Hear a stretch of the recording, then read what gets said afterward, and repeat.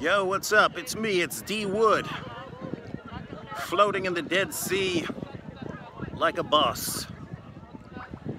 The land around this body of water is about 1,400 feet below sea level, making it the lowest land on Earth. The water is about 34% salinity, making it roughly 10 times as salty as ocean water. This trip has been a mixture of touring various sites in different areas and talking to people. I've been posting video footage of the places we visit, but not of the people we're talking to. I don't want to cause problems for anyone who's sharing their views on sensitive issues. I don't have much video footage to post from today because we've been meeting people basically all day up until now. At 8 o'clock this morning we met with a journalist for about an hour and a half. He is an Israeli citizen. He's also an Arab Muslim. And he basically shared his views of what's going on with the, uh, the, the conflict between uh, Palestinians and Israel and so on.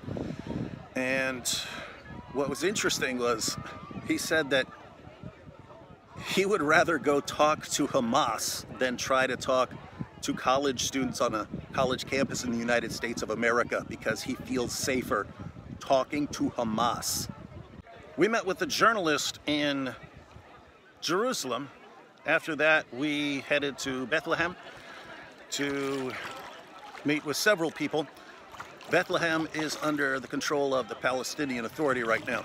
And you can see signs when you're going around saying that Israeli citizens are not allowed there. We met with a Christian pastor who's been pastoring a church there for decades. He said that his church has been bombed 14 times over the years and basically said that there, you know there could be peaceful relations with uh, everyone around him for many years and then something stirs people up and then there are problems.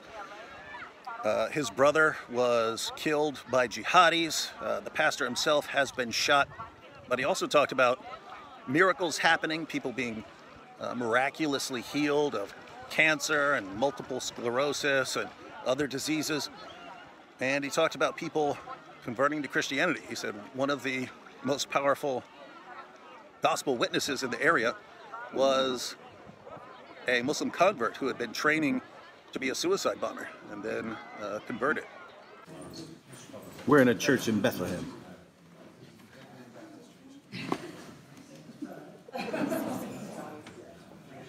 After we met with the pastor, we headed to an area called the Shepherd's Field, which is important in two Bible passages. One is the story of Ruth and Naomi, and the other uh, being the annunciation to the shepherds of the birth of Jesus.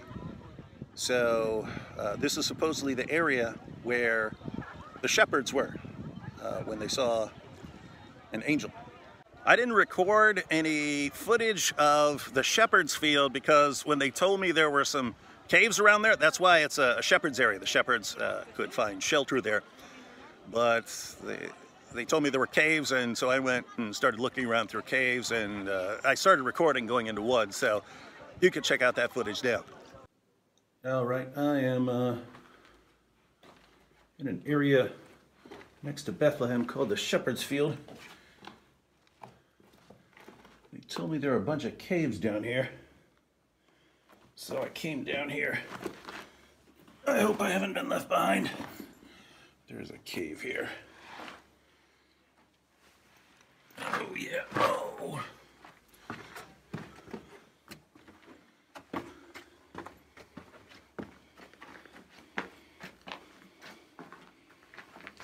Oh, look at that. You know you want to crawl up in there.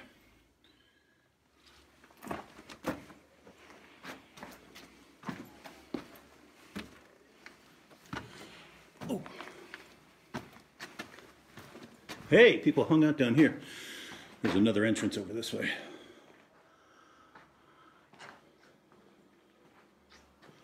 Oh, I think these are, uh, I think they're called the mikvot. Um, places for ceremonial washings. And they would do this with both people and animals.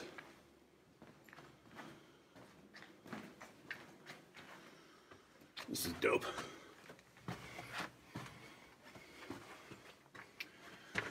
Oh, oh dude, I gotta figure out how to put my light on.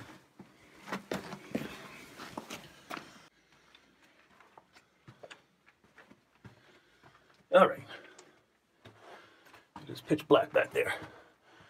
I got my light on. Go somewhere. Oh, this backpack's killing me. Looks like it's just for this hose to run. Oh. Just so you know, this is about four feet high.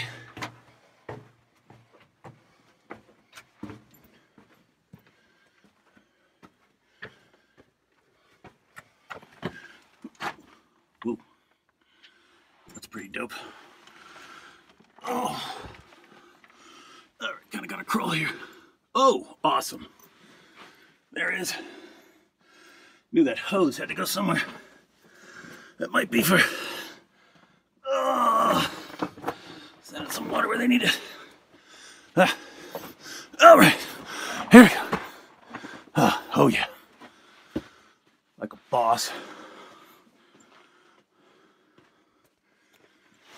rest of the team's up there playing patty cake. Not here. About to find the Ark of the Covenant.